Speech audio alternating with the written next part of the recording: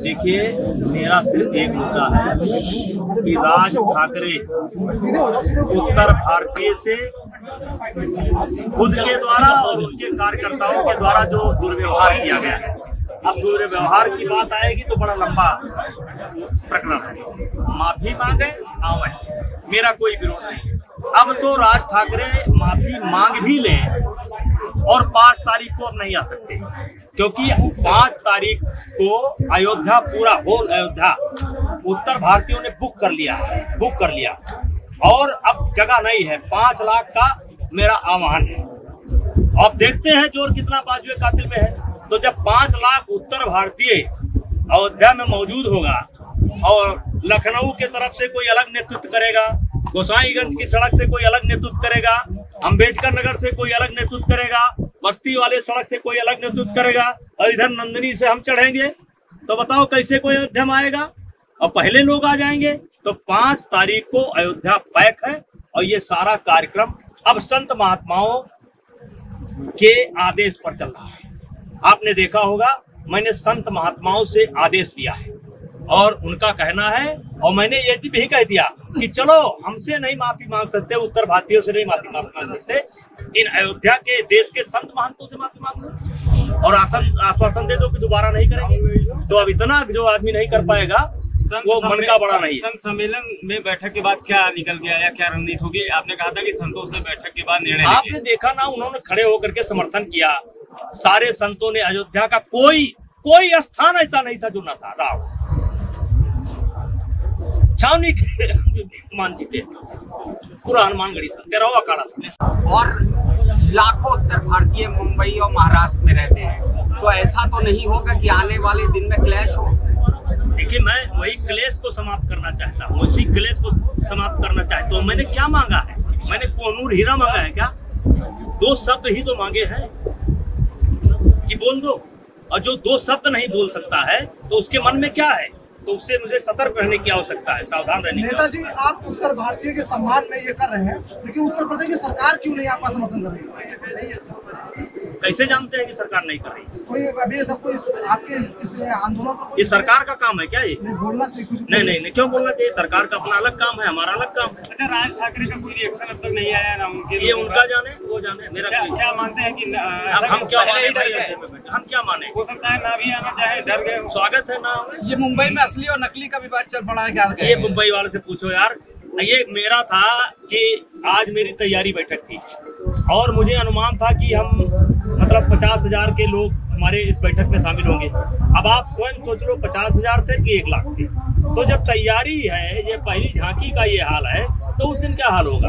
तो नेताजी आने वाले दिनों में पाँच जून तो अभी बाकी है और झांकी आप दिखा रहे हैं। किस प्रकार की किलाबंदी राज ठाकरे के लिए आप अपनी किलाबंदी मज़बूत कर रहे हैं? देखिए मेरे कार्यक्रम डे बाई डे लग चुके हैं। मैं झारखंड का दौरा करने जा रहा हूँ। कार्यक्रम लग चुका है। बिहार में तीन कार्यक्रम लग चुके हैं। वहाँ दौरा करने जा रहा हूँ। बनारस में कार्यक्रम लग चुका है। मेरठ में कार्यक्रम लग चुका है। बरेली में कार्यक्रम लग चुका है। बदायूं में कार्यक्रम लग चुका है। बहराइच में कार्यक्रम लग चुका है। देवरिया कार्यक्रम लग चुका है।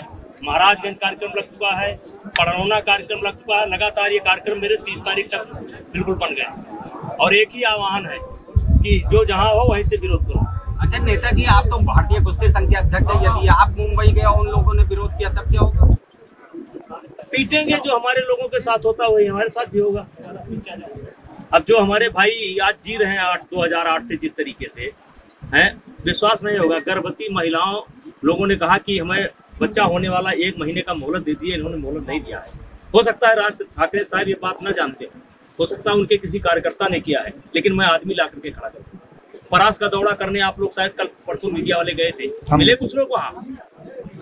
उन्होंने बोला कि पीटा गया उनको कि नहीं पीटा गया? तो ये ठीक नहीं है। बस। तो अब ये माना जाए कि अरे अभी भी कुछ दिक्कत आपको दिखाई पड़ रही है? एक लाख आदमी जो है सवेरे से चल रहा है ओंकार भर रहा है। और अयोध्या कितनी देर है जम तो मारना है? अब कहाँ दूरी है? बताओ ये डेढ़ किलोमीटर है यहाँ से डेढ़ किलोमीटर ऐसे तिरछा जाओ डेढ़ किलोमीटर अगर तो क्या बाकी है? अगर सरकार रोक लगाएगी तो फिर कैसे प्रदर्शन अरे भैया लगाएगी तब देखा जाएगा। सर परास। परास गाँव में हम गए हैं काफ़ी संख्या में लोग मिले हैं तमाम बुज़ुर्ग मिले हैं। जो महाराष्ट्र छोड़ चुके हैं उनके डर से। हाँ वो शायद हीरे का काम करते थे। हीरे का काम करते थे तमाम काम और करते कई समाज के लोग थे। तेली समाज के भी लोग हैं ब्राह्मण समाज के लोग हैं क्षत्रिय समाज के लोग हैं सभी तो समाज के लोग। यही तो कहना है कि जैसे कि वो नेता बन रहे हैं उनका हृदय परिवर्तन हो गया राम भक्त बन रहे हनुमान भक्त बन रहे हैं तो राम का चरित्र भी अपनाओ हनुमान का चरित्र भी आप अपनाओ। दो शब्द बोलने में क्या जाता है? अच्छा नेताजी सर, मान सर, सर। कल को वो मान लेते हैं आपकी बात पर वो कुछ हिंट करते हैं अपने बयानों को पूर्ववर्ती बयानों को माफ़ी मांग लें या कुछ ऐसा करें तो आप क्या किस प्रकार से स्वागत करेंगे अभिनंदन करेंगे क्या कहेंगे? अब देखो हम पाँच तारीख को तो अयोध्या में जगह नहीं है। ये तो अयोध्या हो गई बुक। पाँच को कहीं जगह नहीं। अब उसके बाद वो आए अपना दर्शन करें। अच्छा, सर, सर। अब जिस प्रकार से माफ़ी मांगे उसी प्रकार से स्वागत होगा। बढ़िया माफ़ी मांगे तो बढ़िया स्वागत होगा। और काम चलाऊ करेंगे तो सर क्या उत्तर भारतीयों का मुद्दा लोकसभा में उठाया जाएगा? क्योंकि अब कश्मीर में 370 हट गई वहाँ भी कोई रह सकता है। महाराष्ट्र में इस प्रकार से एक आदमी विरोध कर रहा है। ये लोकसभा का विषय नहीं है समाज का विषय है।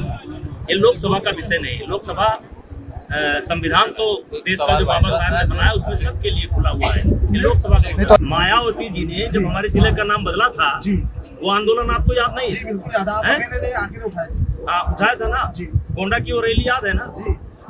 जी। तो भैया चलो भैया अच्छा नेताजी एक सवाल आखिरी सवाल है कि इस अगर इस मुहिम को जो आपने छेड़ा आह्वान किया है इसमें अगर जीत आपकी होती तो इससे जीत आप अपने खुद की लेंगे समाज का लेंगे संतों का लेंगे या अयोध्या के आसपास या पूरे उत्तर भारतीयों की जीत आप बताएँगे? जीत और हार नहीं ये जीत और हार की लड़ाई नहीं इससे उत्तर भारतीय और मराठा मनुष्य का जो जहर घोला गया था, वो कम हो जाएगा। और पूरा दोनों जगह का समाज राहत महसूस करेगा। इसमें ना किसी की जीत है और ना किसी की हार। इसको जीत हार से मत देखिए।